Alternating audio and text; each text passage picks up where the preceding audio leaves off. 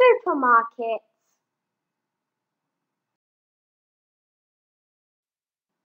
Shopping carts clang, magic doors with open and shut, colours glow under bright white lights.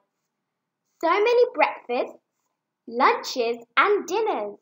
It's all at a special, necessary, very real place the supermarket. The supermarket is a whole world of its own. Where does all this crunchy, munchy, sweet, sour, fiery, frozen, fabulous food come from? The doors don't really open by magic.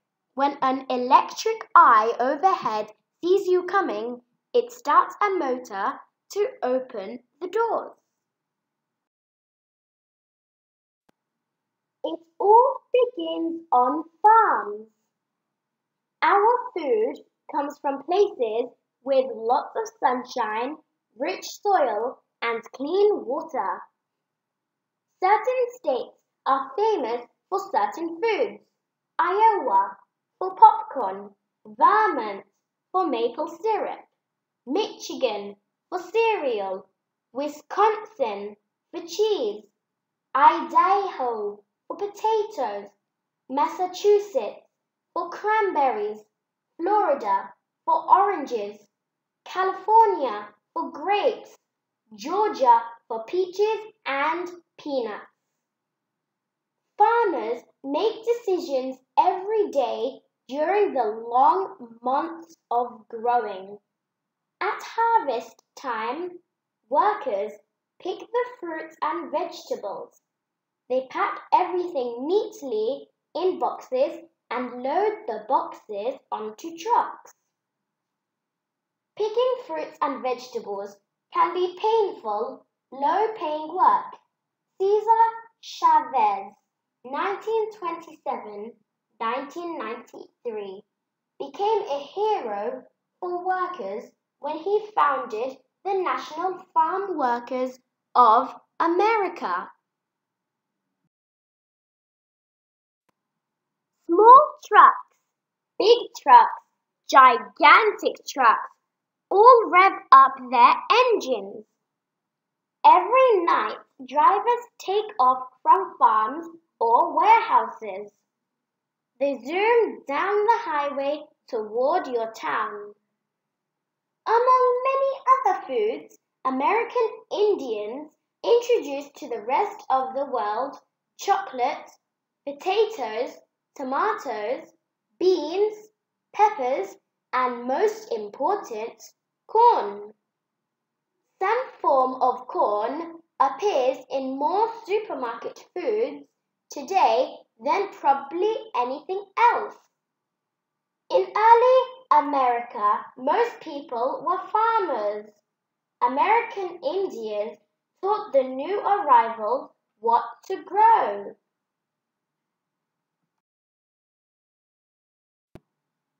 Families grew all their own food. Later, they traded food with one another to get other things they needed. They started using money to buy things at town marketplaces. Soon there were general stores where you could buy almost anything and little run grocery stores, mum and pop stores. Stores became bigger, dividing items into different departments.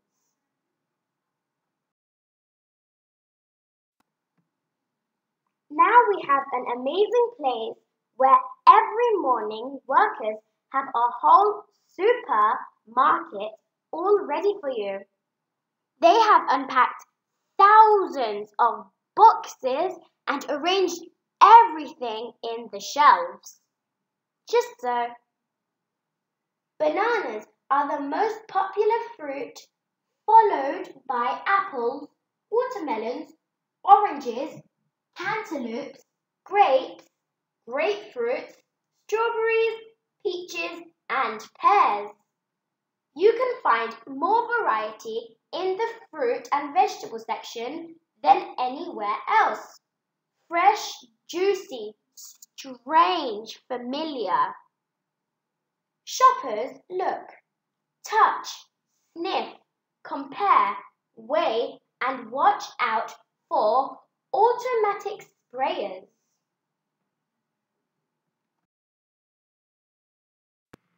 Beds of crushed ice keep the meats and fish fresh. Butchers cut or grind meat into different sizes and wrap packages in plastic. For most of human history, food has often spoiled before it could be eaten. Not until the 1800s did people learn how to preserve food by sealing it inside metal cans. Around 1830, the English figured out a way to chill their food with machines. According to surveys, the top reasons why shoppers pick a particular store are location, prices, and selection. The best smells float around the bakery. Bakers sometimes bake thousands of donuts a day and at least a dozen different kinds of bread. Just about everyone stops in the dairy section. Behind all the eggs, milk, yogurt, and cheese is a refrigerated area keeping everything cold. A stamp on many fresh foods give an expiration date, the day on which the food is no longer fresh. A sweater is handy in the frozen foods section where the air is coldest. Zippy music makes some people hum along or dance right in the aisle. The store is packed with cereal, soups, spices, and even non-foods. What is a non-food? Something in a supermarket that we don't eat like toilet paper, laundry soap, toothpaste, shampoo, and magazines. At the checkout counter, people try to pick the shortest line. An electronic scanner reads the barcodes on most products and prints out the prices. A cash register adds up the cost of your food. Baggers ask, paper or plastic, and pack up your groceries. Think about all the people who move food from the farms to your kitchen shelves. The average wait in the checkout line is 8 minutes.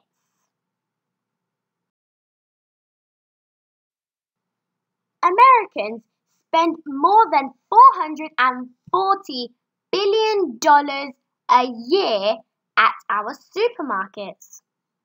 Over half of shoppers, especially women, Use a shopping list to make sure they don't forget anything. The average shopping list contains 22 items.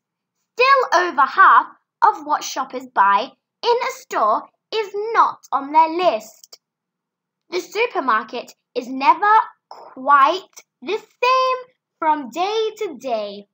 New items are added all the time, especially from around the world. Some markets have other stores right inside worlds of their own. Thanks for watching. If you like my video, please click like. If you have any stories you would like me to add to my channel, please leave a comment below. Please subscribe to my channel.